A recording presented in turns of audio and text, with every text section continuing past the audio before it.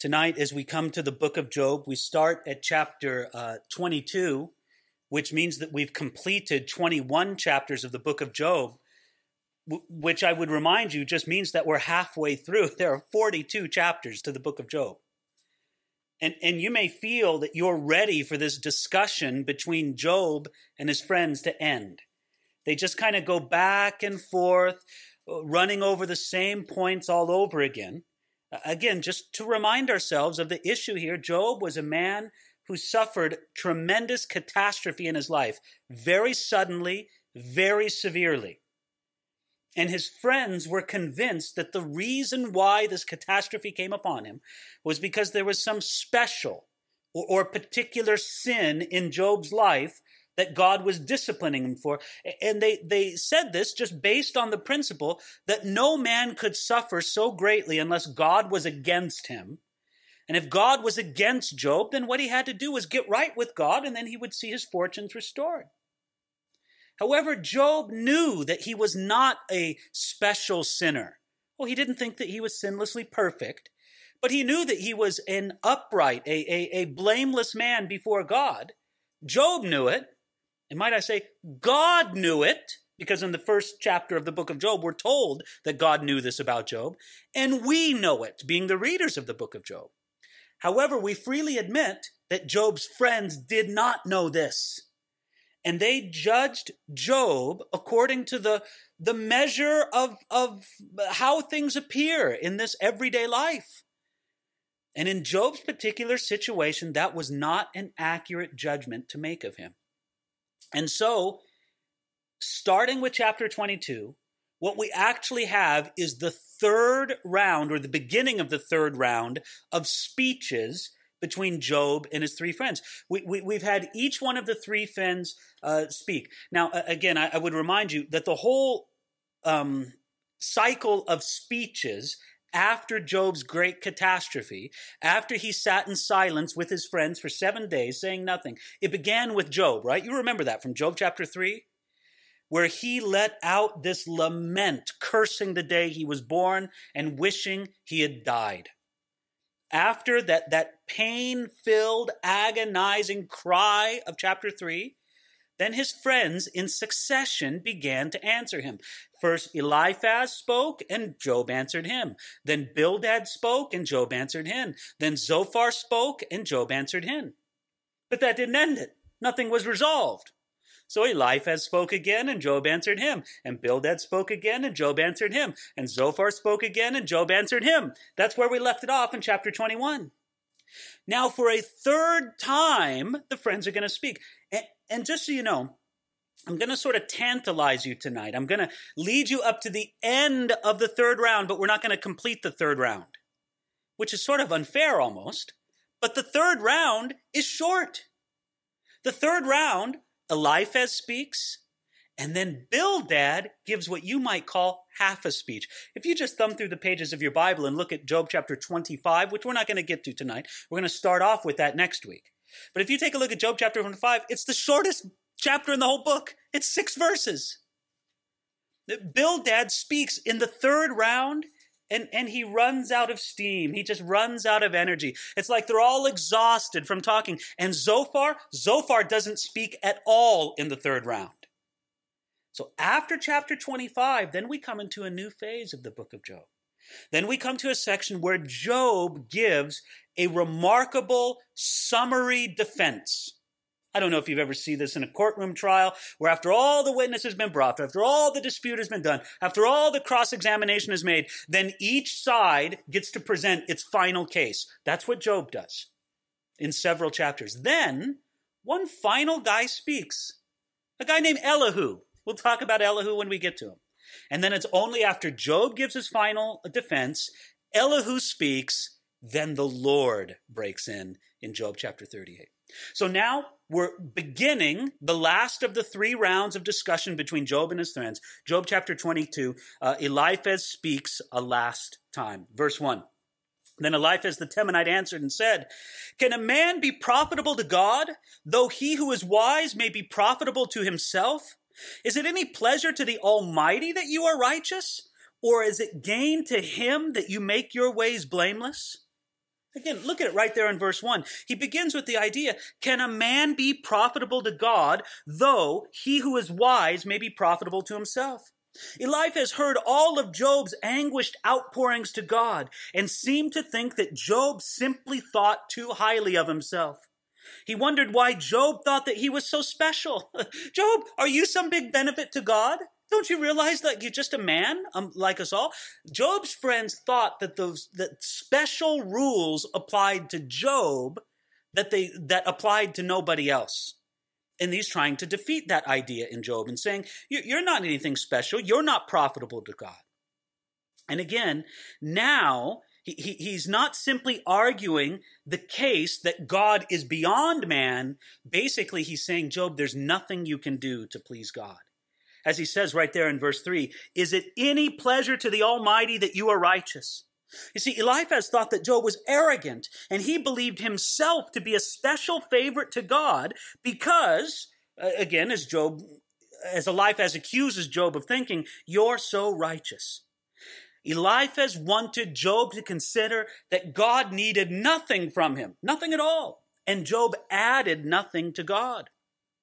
Now listen, just as we've experienced time and time again in discussing the theology of Job's friends, they are mostly correct. In one aspect, Eliphaz certainly did have correct theology. God does not need Job or any of us in the way that we need God. Nevertheless, Eliphaz's application of this principle was wrong in this context. Because look, he says there in verse 3, Is it any pleasure to the Almighty that you are righteous? And in Job's case, what would you say? Yes, it was. We know this from Job chapters 1 and 2, right?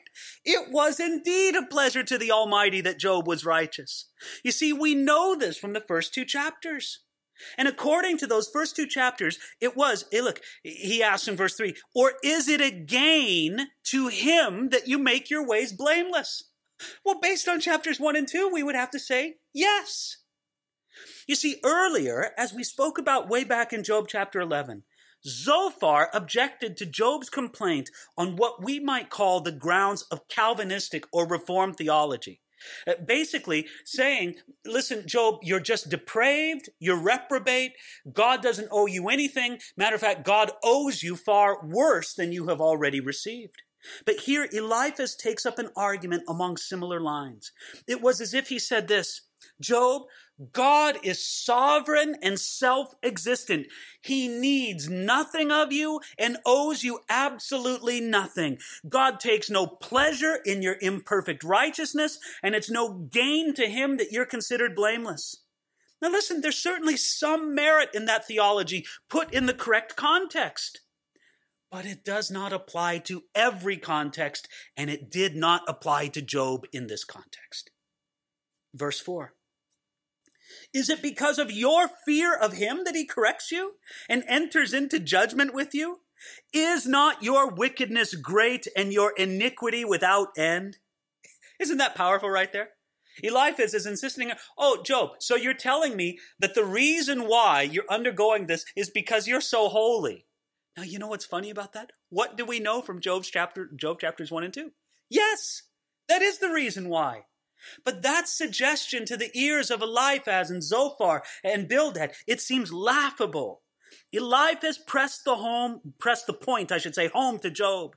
Surely the catastrophe that came upon Job, which Eliphaz lightly called, listen to what Eliphaz called the catastrophe that came upon Job, correction. Is it because of your fear of him that he corrects you? Listen, think of all the things that happened to Job, right? He lost 10 children in one afternoon. He lost everything he owned. He became a, a penniless beggar, you know, in just a few moments. He, he lost the support of his wife. He lost his health. He, he, he found his friends no longer supportive, but argumentative against him. And greatest of all, he lost his sense of fellowship with God. And now Eliphaz says, correction. It rolls pretty easily off your tongue, doesn't it, Eliphaz? It didn't happen to you.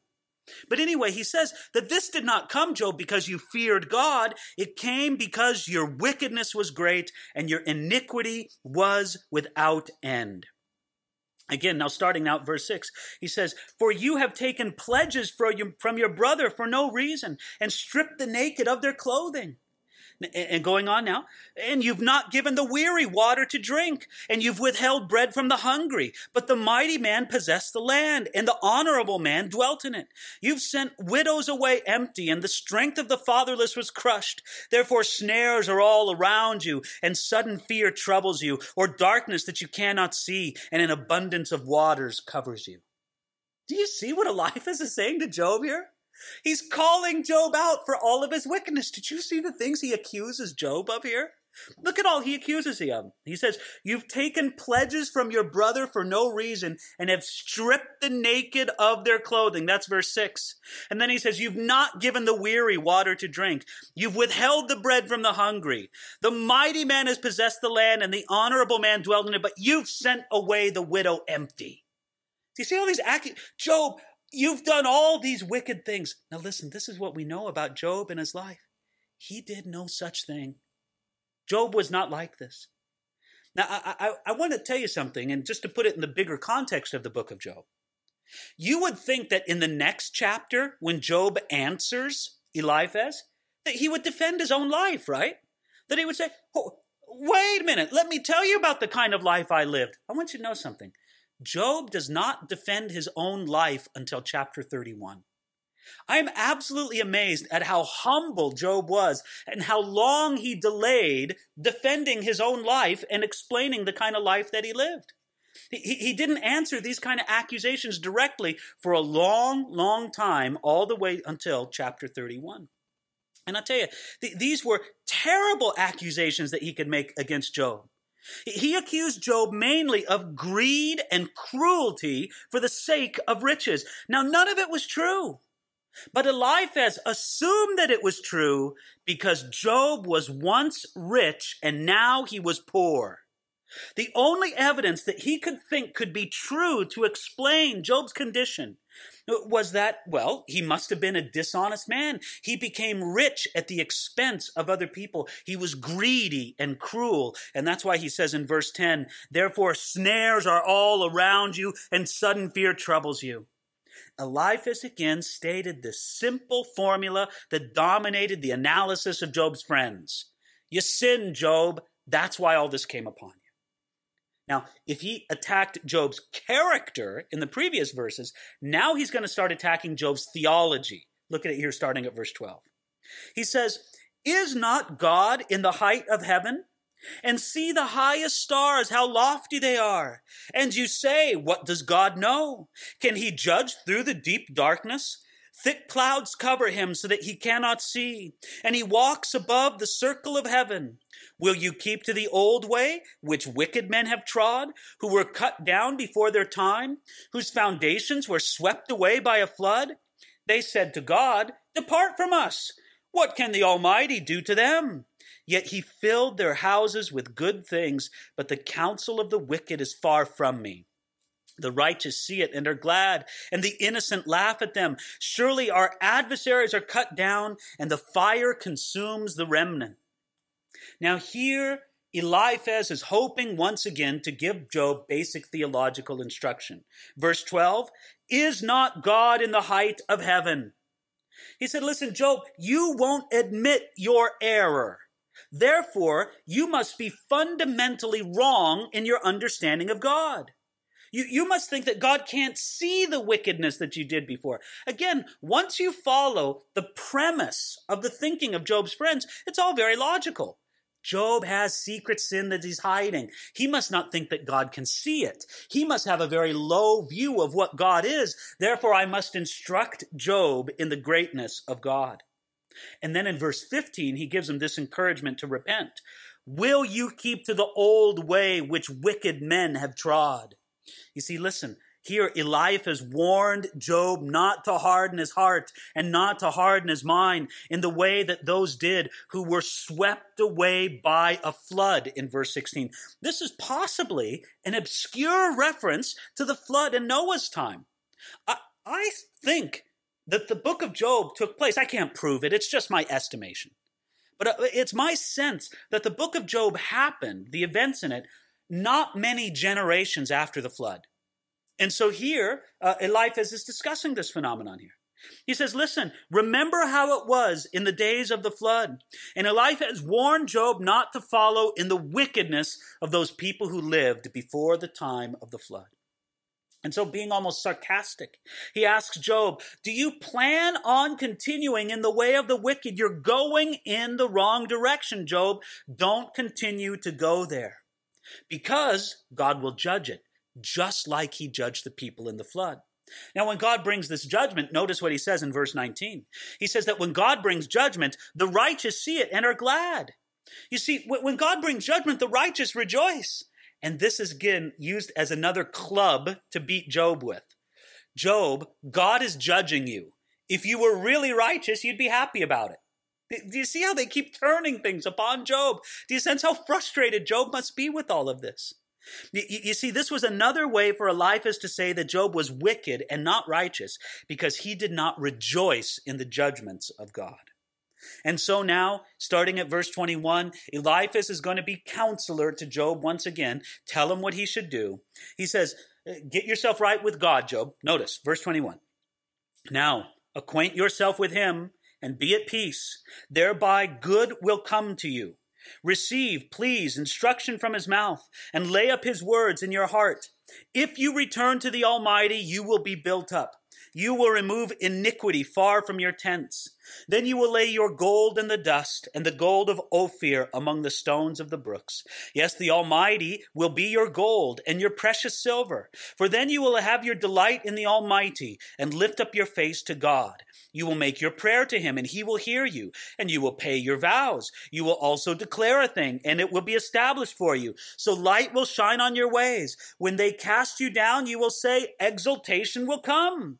Then he will save the humble person. He will even deliver the one who is not innocent. Yes, he will be delivered by the purity of your hands. Now, again, verse 21, he's giving Job this basic advice. Now, acquaint yourself with him and be at peace. Thereby, good will get to know. You know what it means to acquaint yourself with him? He's saying, now, Job, just get to know God and things will be better again, I just want you to understand how absolutely frustrating this must have been for Job. This man who walked so closely to God and now desperately, more than anything, just wanted to sense the presence of God again. I wouldn't blame Job if tears were steaming, streaming down his face when he heard, heard this. He's saying, acquaint yourself with him. I've been trying to, to, to sense the presence of God since this whole calamity happened. You, you act like it's so easy, Eliphaz. If it says, well, I'll just go repent and God, will, but it goes, you don't understand at all. It's very painful to see how greatly his friends, even though they weren't bad men, but how greatly they misunderstood Job's situation and how ineffective they were in their counsel to him. But I want you to know something here. If you take those verses that I just read to you and remove them from Job's context and put them into the context of someone who really is a sinner and needs to repent, it's marvelous counsel. It's really good counsel. It's just put in the wrong context. You see, this was great advice for Job, assuming that the problem was sin in Job's life. If it wasn't sin in Job's life, then it's rotten advice. But if it was, it would have been great advice. Now, again, this is a wonderful picture of the blessings that come to the person who returns to God. They don't fit the situation of Job, but um, it, it is really eloquent the way Eliphaz um, explains this. He says, verse 26, For then you will have your delight in the Almighty. Just return to God, Job, and you'll delight in the Almighty again. Now, again, if you take it from Job's situation, if you could say this to a sinner, you'd say, Yes. You've been afraid of God. You haven't thought of God. You, you think God hates you. Listen, if you'll just turn to Him, you will have your delight in the Almighty. Now, Eliphaz assumed much because Job was agonizing with God instead of finding delight in Him. But Job's agony with God was a real, although a very temporary phenomenon. It's interesting that he says right there in verse 26, and lift up your face to God.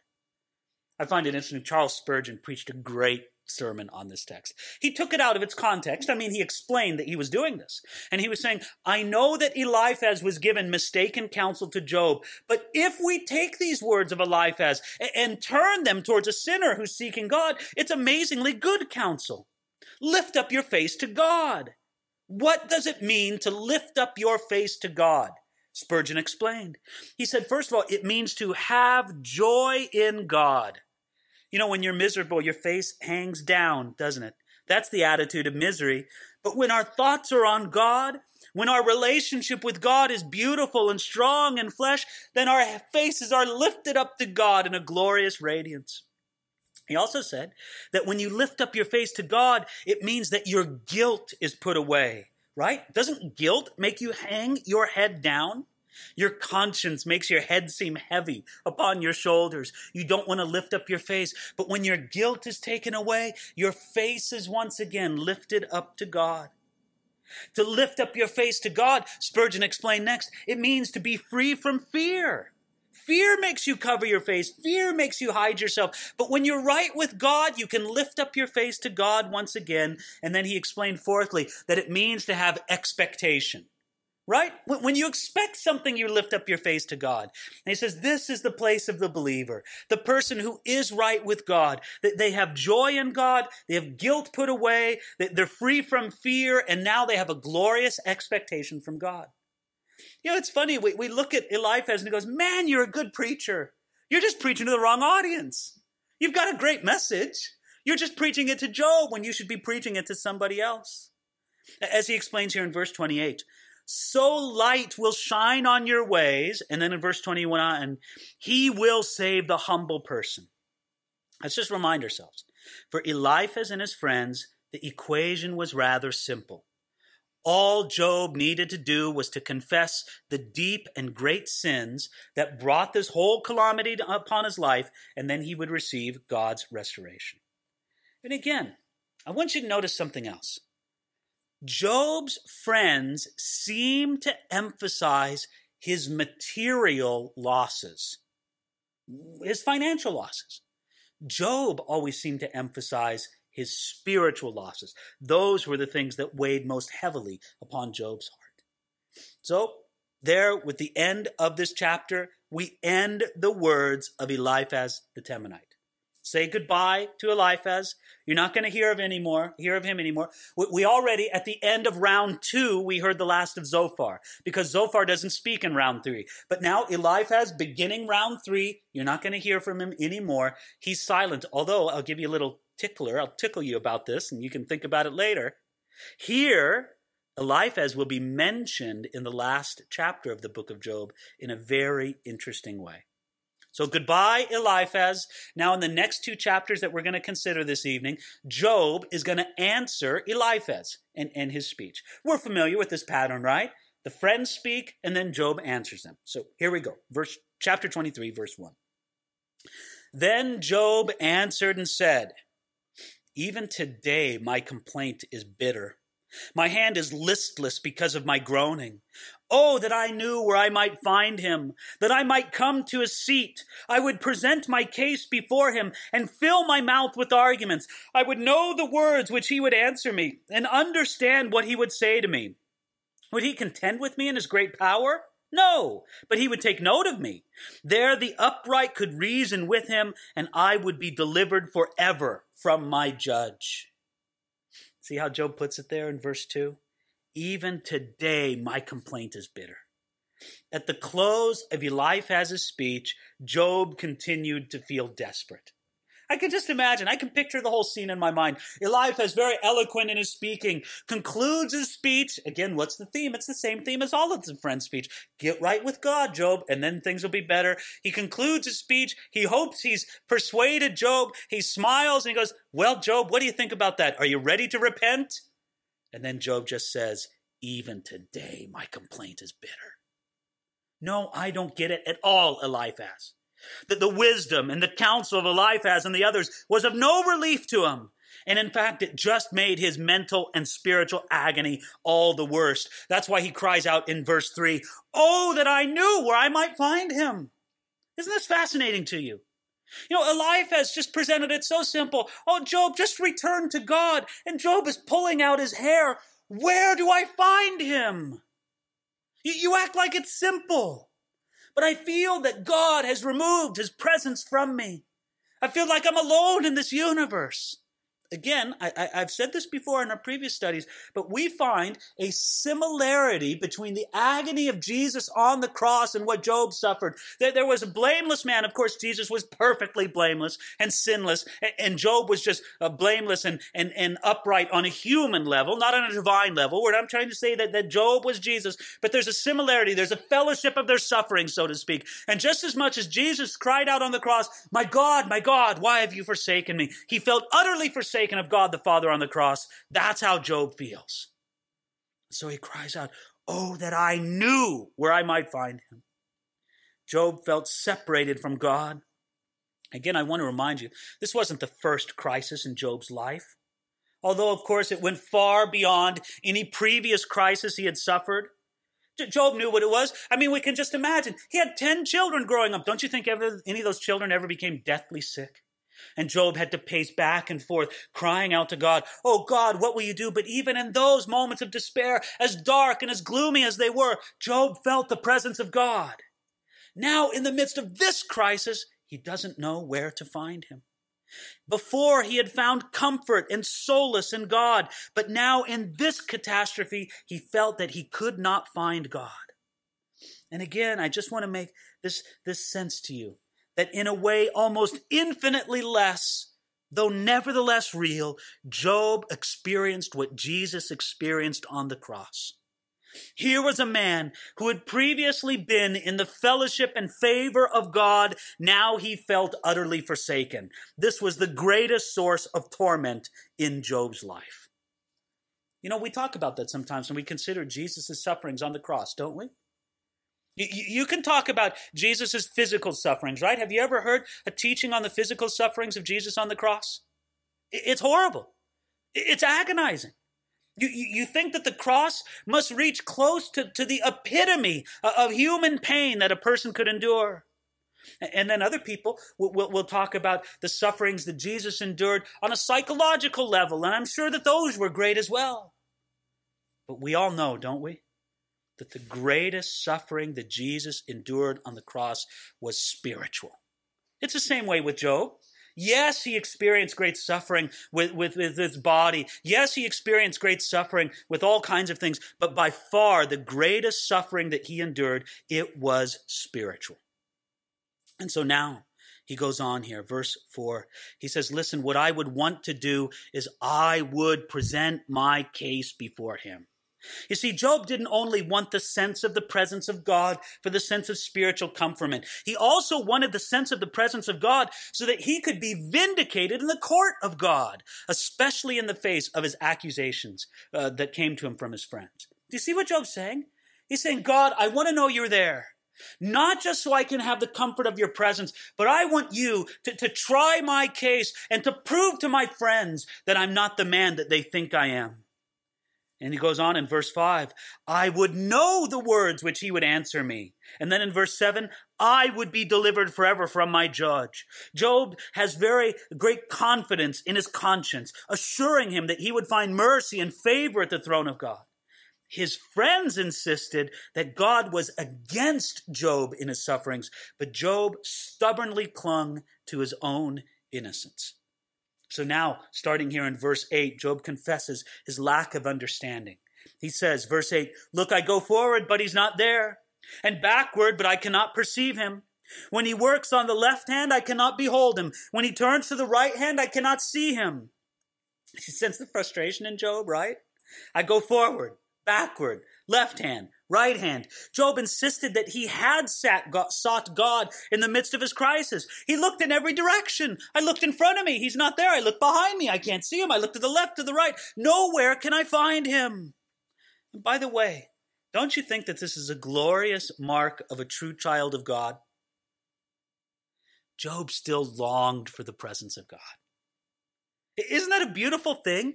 That, that Job is still crying out for the presence of God, even though he feels that God has bruised him. Even though he feels that God has well nigh broken him, shattered him, he still longs for his presence. What a glorious evidence. The fact that he is a true child of God. And yet in verse 9, he says, I've looked every direction, but he's not there. I cannot perceive him. No matter how sincerely and how diligently Job looked, he could not find God. God remained hidden through a barrier that was impossible to pierce. Now, look, I made the likeness once before about Job's suffering and the suffering of Jesus on the cross, and I want to take that just a little bit further. Because though we must say that Jesus absolutely felt forsaken by his Father, you cannot say that there was an absolute division between the Father and the Son on the cross.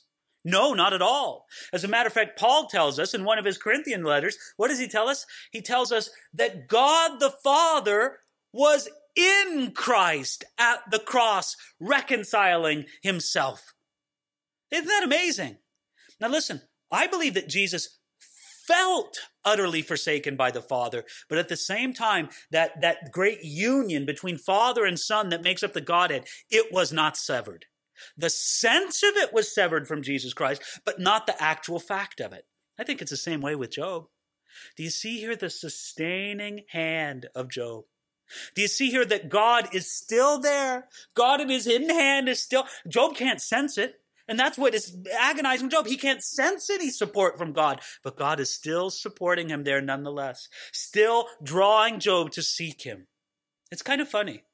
You know, Job here is crying out, Oh God, won't you support me? Won't you help me? And at that time, in a way that Job could not feel, but was nonetheless real, God was supporting him. God was strengthening him. He would have perished. I think he would have killed himself if it was not for the support of God in those times. So now his confidence in the midst of despair. Here we come to another one of those blight flashes of light in the midst of book of Job, right? Are you ready for it? It's been dark. Here, ready for a flash? Verse 10. But he knows the way that I take. When he has tested me, I shall come forth as gold. My foot has felt held fast to his steps. I have kept his way and not turned aside. I have not departed from the commandment of his lips. I have treasured the words of his mouth more than my necessary food. Again, it's one of those great flashes, right? We want to stand up and applaud Job, right? We go, yes, Job, you're right there. He knows the way that I think. You know what he says? He goes, God, I can't feel you. I've looked forward and backward and left and right. I can't sense you anywhere, but I still know your eyes are on me. You know the way that I take. And then he gives that great statement in verse 10 When he has tested me, I shall come forth as gold. Isn't that beautiful? Again, we're just so impressed with these flashes that come from Job. And listen, we understand, right? We read this and we go, oh, Job, you're going to sink back into despair pretty quick again. But we're just so happy for these flashes of, of, just Holy Spirit inspiration in Job. Job admitted that he could not get through to God, yet he clung to the confidence that God was still managing over this crisis. With a very wonderful faith, Job seemed at this fleeting instant to understand that he could and should, in the present crisis, do exactly what was right. He understood that God observed Job carefully and had not forgotten him, right? He said, He knows the way that I take.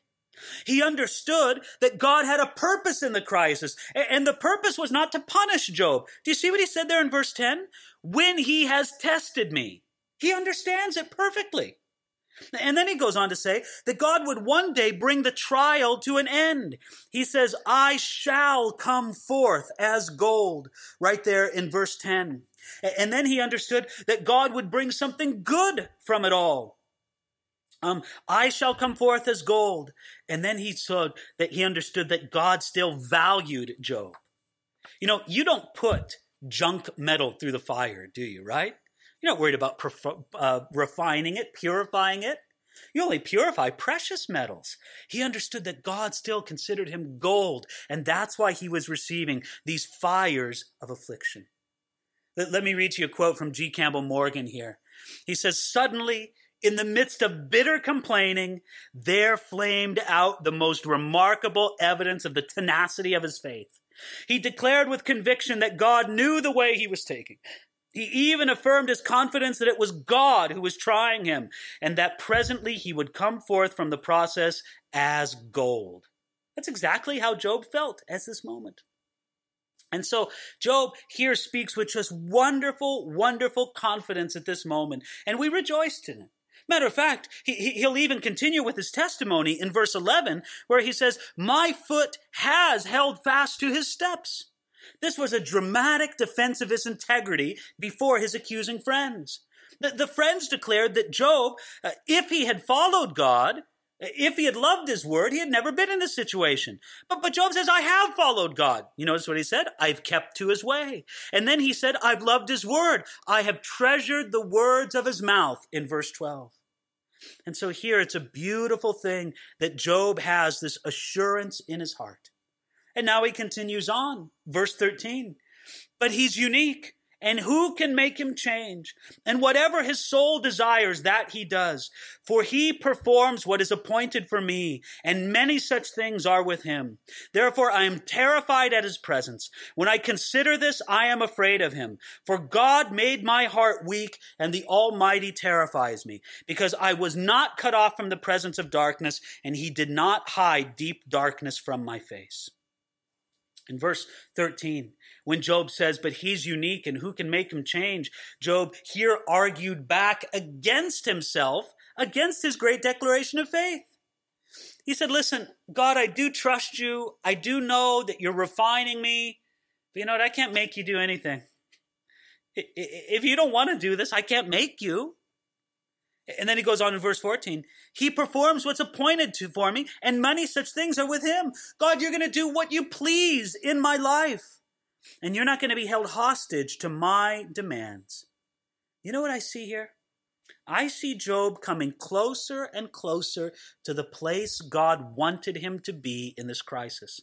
He comes closer and closer to realizing that God can be trusted, that God does in fact love Job and care for him, but at the same time, God is sovereign, and at least some of his ways are beyond his knowing. I see Job coming more and more to this place. And that's why he says in verse 15, Therefore I was terrified at his presence.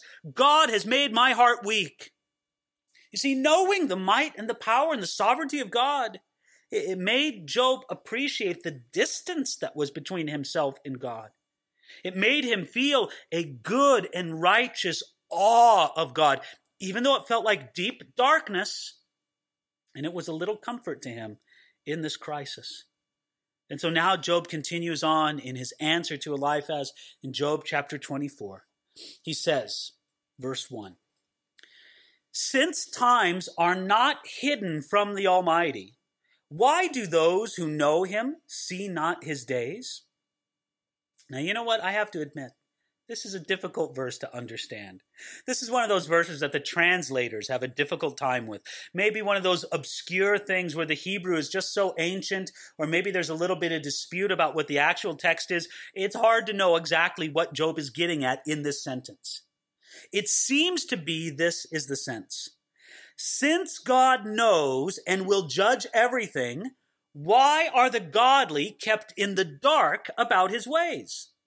Now, if that's what Job meant, this had special application to the question that Job is going to address in the rest of this chapter. The question Job will address in the rest of this chapter is the seeming prosperity of the wicked. The NIV translates the verse like this It says, why does the Almighty not set times for judgment? Why must those who know him look in vain for such days? Or the New Living Translation has this. Why doesn't the Almighty open the court and bring judgment? Why must the godly wait for him in vain? In other words, Job's wondering here, okay, Eliphaz and all the rest of you, you've been raising these questions that, that, that God judges the ungodly and he blesses the godly. And therefore you have concluded that I am ungodly because I seem to be under the judgment of God. But Job says, you know what? It's not that simple. Because there's a lot of ungodly people who don't seem to have much trouble in their life. That's basically the theme of this judgment. And it seems that chapter, excuse me, verse 1 of chapter 24 is Job raising this question, this dilemma. And then he goes on here, starting at verse 2. He says, This is the conduct of the ungodly. Some remove landmarks, They seize flocks violently and feed on them. They drive away the donkey of the fatherless. They take the widow's ox as a pledge. They push the needy off the road. All the poor of the land are forced to hide. Indeed, like wild donkeys in the desert, they go out to their work searching for food. The wilderness yields food for them and for their children. They gather the fodder in the field and gleaned in the vineyards of the wicked. They spend the night naked without clothing and have no covering in the cold. They are wet with the showers of the mountains and huddle around the rock for want of shelter. Here, Job describes the mostly financial sins of the wicked, that their financial sins are rooted in greed and cruelty. Now let's remember, back in chapter 22, Eliphaz said that Job's calamity came upon him because he acted this way towards other people. And he said, Job, your riches were gained by greed and wickedness. Do you remember those accusations that Eliphaz made against Job? But here, Job is agreeing with Eliphaz that this is how wicked people act. But he's not agreeing with him that Job himself acted this way. And so he says, look at how the wealthy and the wicked abuse and, and take advantage of the poor. He goes on with the same thought starting at verse 9. He says, Some snatch the fatherless from the breast and take a pledge from the poor. They cause the poor to go naked without clothing, and they take away the sheaves from the hungry. They press out oil within their walls and tread wine presses, yet suffer thirst. The dying groan in the city, and the souls of the wounded cry out, yet God does not charge them with wrong. Now, in this very vivid description, Job describes the heartless oppression inflicted upon the poor by the godless. You see what he says there in verse 9? Some snatch the fatherless from the breast and take a pledge from the poor. Can you just see the old, wicked, greedy man, you know, the guy in the top hat and the coat, and he's going, you know, the real, you know, Scrooge kind of person going and, and taking candy from the baby's mouth, right? I'll take that from you. That's mine, little boy. You know, just picture the cruelty of this greedy, greedy person. And Job says here in verse 12, do you get the, the, the gist of it here at verse 12? Yet God does not charge them with wrong. After describing the great wickedness of these greedy, godless people, Job then says, You know, I don't see God punishing them. God does not seem to charge them with wrong. It didn't bother Job that there were wicked people in the world. He could understand that. But what bothered him was what he says right there in verse 12. Yet God does not charge them with wrong. That's how it seemed to Job. God, what are you doing? God, excuse me, Job was pleading with God to do something about these wicked people. He says in verse 12, it's very picturesque, doesn't he say that? He says, The dying groan in the city. And God, you seem to do nothing. Well, continuing on the same theme, Joe's going to pick it up in verse 13 here. He says, There are those who rebel against the light, who do not know its ways, nor abide in its paths. The murderer rises with the light. He kills the poor and needy. And in the night, he's like the thief. The eye of the adulterer waits for twilight, saying, No eye will see me.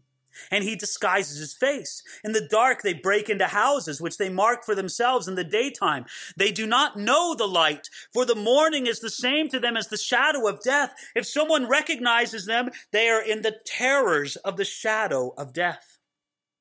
See verse 13 in this continuing description of the wicked. He says, There are those who rebel against the light. And in this passage, using very powerful poetic images, Job describes the kind of sin that happens under the cover of darkness. Darkness is used as a cloak for the murderer in verse 14, for the thief in verse 14, and for the adulterer in verse 15. And we can just imagine this, right?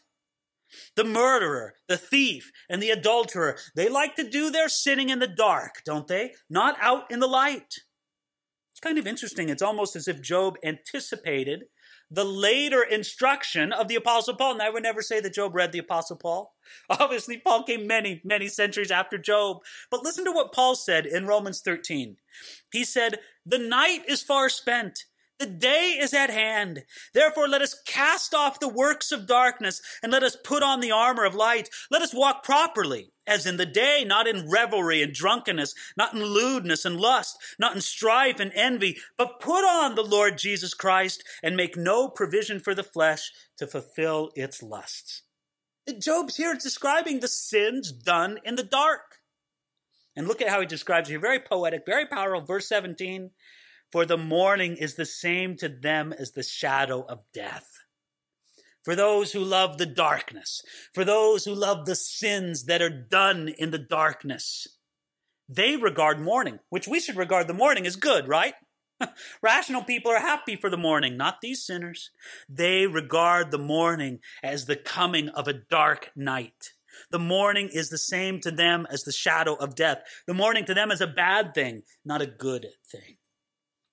And so, Job here now in verse 18, I picture him almost wanting to give some advice to God now. God, if you want to know what you should do with the wicked, let me tell you what you should do. You don't seem to be doing what, what you should do to the wicked, God. I want you to again uh, understand the bigger context of this. Eliphaz, Bildad, Zophar, they all spelled it out to Job in a very easy equation, right? Job, the godly are rewarded by God, and the ungodly are punished. You're being punished. Therefore, you're ungodly. Now, what Job is trying to say is, guys, it's not that simple. I see a lot of wicked people who don't seem to be very punished. Your, your equation, your, uh, you know, moral mathematics don't work out so well. And so now Job is going to, after bringing up the, the, the, example of all these wicked and ungodly people, now Job is going to tell God what he should do with them. Verse 18, he said, They should be swift on the face of the waters. Their portion should be cursed in the earth, so that no one would turn into the way of their vineyards. As drought and heat consume the snow waters, so the grave consumes those who have sinned. The womb should forget him. The worm should feed sweetly on him he should be remembered no more, and wickedness should be broken like a tree. For he who preys on the barren who do not bear, and does no good for the widow. Isn't that powerful? God, I'll tell you what you should do to the wicked. I'll tell you what you should do to those greedy people who would snatch the candy from the child's hand. He says, verse 18, their portion should be cursed in the earth. He's wondering why God does not judge the wicked the way that he should. Again, it seems to me like Job is giving advice to God on how he should judge the wicked. Mainly, here's the idea Job understood that the wicked may be judged in the life to come. Okay? But for Job, for somehow that wasn't good enough for him right now. he wanted them to be judged right now. Come on, God. Great, you tell me, yeah, you know, in eternity they'll be judged. For some reason, that wasn't satisfying to Job. He says, I'm having it hard right now. They should be having it hard right now. You got to admit what he says in verse 20. Pretty picturesque, right? The worms should feed sweetly on him. Can you picture a bunch of happy worms eating the decomposing body of a wicked man? Job got that picture in his mind and he smiled, right? They should be sweet worm food. That's what should happen to the wicked. And he should be remembered no more. You see, Job wasn't against the idea of the wicked being punished after death. He's like saying, God, if you want to punish them after death, fine. But do it now also. They should get it now as well. And that's his idea here. So, verse 22, he says, But God draws the mighty away with his power. He rises up, but no man is sure of life. He gives them security and they rely on it. Yet his eyes are on their way, and they're exalted for a little while, then they're gone. They're brought low. They're taken out of the way like all others. They dry out like the heads of grain. Now, if it is not so, who will prove me a liar and make my speech worth nothing? Can you see Job standing up before his friends and saying that? Come on now. You know it's like this. Job considered, verse 22, that God draws the mighty away with his power. Now, the mighty, he means the, the mighty in wickedness, right? The mighty wicked man. God draws him away with his power. Job considered that, that perhaps the fate of the wicked in the world beyond was going to be enough to, to make it balance out on the scales of divine justice. Yet the wicked does seem to prosper in this life. He says, he rises up, At the same time, no man is sure of life. Uh, to be honest here, Job is going back and forth in his mind. I, I don't think he can figure this out. He's frustrated by the fact that well, the, the, the wicked are going to be judged eventually. Sometimes it seems like they get it in this life, but sometimes they don't. Sometimes they seem to prosper. God, I don't know how this works out. I mean, you and I maybe have agonized over the same questions. Remember that the psalmist did? He said, You know, I almost stumbled when I saw the prosperity of the wicked. They have it so good. I, I, I didn't, you know, uh, I, they, they don't seem to have any problems in life. And it seems like the worse they are, the, the easier their life is. And then he says, And then I went into the house of the Lord and understood their end. Now that answer was satisfying for the psalmist it did not fully satisfy Job, not in the midst of his difficulty. Verse 23, he says, He gives them security and they rely on it, yet his eyes are on their ways. Job was reminding himself that God was not blind to the sins of the wicked, and even if they did seem to prosper well enough in this life, soon enough they would be gone and brought low. The sense from Job is that God allows such prosperity to some of the wicked to increase their ultimate judgment. He does indeed give them security and they rely on it, but in the end, they end up like dry heads of grain. Now, what happens to dry heads of grain? They get cut down and harvest, right? That's what happens to them, and that's what Job is anticipating. Listen, the whole point of it is this. The whole uh, uh, point of Job in this chapter and in this answer to Eliphaz is he says, Eliphaz and all you guys, you're building your case against me on these moral mathematics. These moral mathematics that simply say, I am a sinner because of this calamity that's come in my life. You need to understand that it's not so simple as that. And therefore, he stands up, verse 25, at the end of this chapter, and simply says, If it is not so, who will prove me a liar? Job challenged all men, all of his friends, to contradict what he affirmed. He said, Listen, the righteous may indeed suffer more than the wicked in this world, and you know it. God, in the end, will justify his own, but you know in this world, sometimes the righteous suffer more than the wicked and you all know it. Now, what could his friends answer to that? The answer to that is not much. Next week, when we get into chapter 25, six verses. Now, I think it's owing to two things. First of all, Job's friends just realize that they're not getting through to him, right? It's not working. Secondly, they're realizing that maybe they are in the wrong and Job is making sense. Thirdly, I think everybody's just exhausted. And that's why I think if you really want to understand the book of Job, you have to let it exhaust you. You have to get through these middle chapters that are just wearying, where it's just blah, blah, blah, blah, blah, back and forth, back and forth. Because what we are doing is we are preparing ourselves for the glorious appearance of the Lord in chapter 38. And God is not going to appear until all of human wisdom and all of human eloquence is exhausted. And we're getting there. We're not there yet, but we're getting there.